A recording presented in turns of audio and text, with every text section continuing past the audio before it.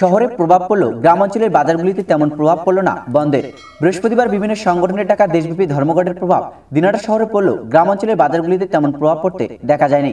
অন্য দিনগুলির মতোই দিনাটার গোবরাছাড়া নয়ারহাট উকড়াবাড়ি কুশিয়ারহাট বাজারগুলিতে দোকানপাট খোলা ছিল। স্বাভাবিক ছিল জনজীবন। কেন্দ্রীয় সরকারের কৃষিনীতি সহ বিভিন্ন নীতির বিরুদ্ধে বৃহস্পতিবার সারা দেশে ধর্মঘটের ডাক দেওয়া হয়েছে। রাজ্যের তৃণমূল কংগ্রেস বন্ধের ইস্যুকে সমর্থন করলেও বন্ধের বিরোধিতা করেছে তারা। আমরা গোবরাসড়া এলাকায় গ্রামীণ এলাকা। এখানে শাক সবজি এবং বিভিন্ন ধরনের ব্যবসা হয়।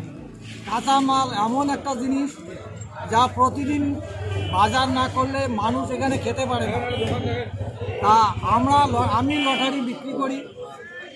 এটা একটা কাঁচামালের চেয়েও বেশি। যা টাইমলি যদি বারোটার খেলা বারোটার আগে বিক্রি করা না হয়, সেটা অঞ্চল হয়ে যায়। সাধারণ আমরা টিকিট ব্যবসায়ী যারা আছি, তারা আমরা দোকান খুলতে বাধ্য। আমরা যে কারণে ইস্যুগুলি ধর্মঘট দেখেছে, সেই ইস্যুগুলিকে আমরা সমর্থন করি।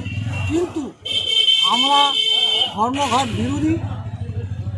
একটা শ্রমিক দিবস, শ্রম দিবস নষ্ট হলে আমাদের বহু কাজের ক্ষতি হয়।